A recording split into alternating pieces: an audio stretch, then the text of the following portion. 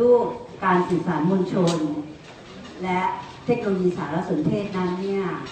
ก็เป็นการทำงานที่เรามุ่งดำเนินงานนะคะ หลักใหญ่ของการทำงานที่เราดำเนินการก็คือจะพยายามที่จะ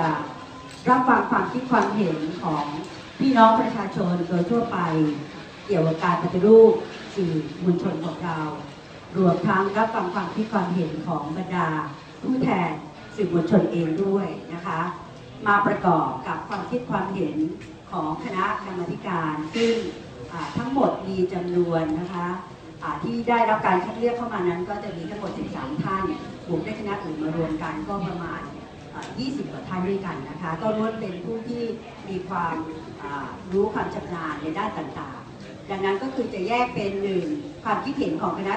กรรมการ ที่จะออกความคิดความเห็นในเรื่องของการปฏิรูปสื่อในด้านต่างๆนะคะทั้งในเรื่องของสิทธิเสรีภาพของสื่อ การควบคุมดูแลสื่อ โดยที่ว่าจะให้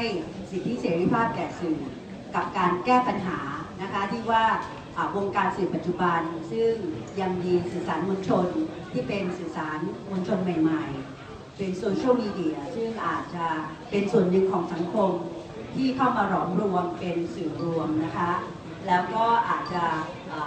ในขณะที่ยังไม่ได้มีกฎหมายควบคุมอย่างแท้จริงนั้นเนี่ย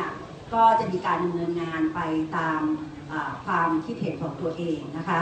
ดังนั้นเนี่ยทางคณะกรรมการของเราจึงได้มีหลักในการดำเนินการว่า ยุทธศาสตร์ของเราก็คือสปชนั้นก็คือเสียงประชาชนนะคะ เสียงประชาชนในที่นี้ก็คืออาสำหรับน้องๆสื่อมวลชนเองนะคะ ผู้ที่เป็นเจ้าของธุรกิจสื่อมวลชน รวมทั้งผู้ที่มีหน้าที่ในการควบคุมดูแลหรือว่าบริหารงานด้านสื่อ ทั้งของภาครัฐและองค์กรอิสระ คือได้แก่กสทชนะคะเทคโนโลยีสารสนเทศเนี่ยได้ประชุมกันไปหลายครั้ง เป็นการศึกษาว่า ในรัฐธรรมนูญฉบับใหม่ ที่เราเรียกกันว่าเป็นรัฐธรรมนูญฉบับปฏิรูปประเทศเนี่ย บทบัญญัติที่เกี่ยวข้องกับสื่อสารมวลชน จะบัญญัติในเรื่องอะไรบ้าง งานมาเร่งด่วนก็คือ การหาข้อสรุป ประเด็นสำคัญหลักการสำคัญ พร้อมเหตุผลคำอธิบาย ที่จะนำเสนอ ต่อคณะกรรมาธิการยกร่างรัฐธรรมนูญ ความเห็นร่วมกันเบื้องต้น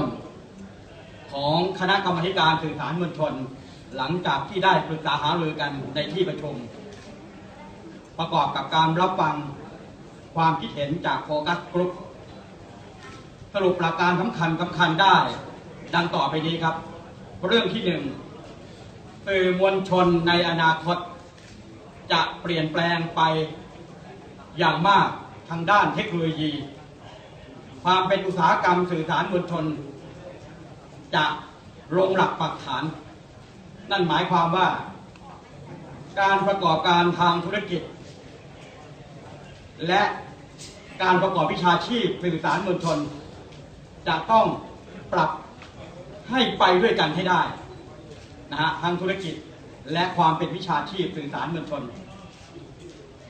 ประการที่สอง หลักการของเสรีภาพสื่อ เราเห็นว่า วิชาชีพสื่อสารมวลชน การมีเสรีภาพ เป็นหัวใจสำคัญที่สุด เพราะเราปกครองกันในระบอบประชาธิปไตย สิทธิเสรีภาพของประชาชน มีความสำคัญอย่างยิ่งยวด